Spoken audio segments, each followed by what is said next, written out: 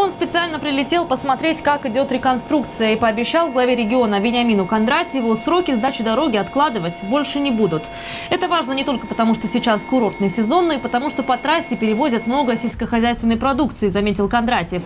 К концу августа на участке трассы М4 Дон заработают две полосы в обе стороны. Также возведут надземные пешеходные переходы и мостовые развязки.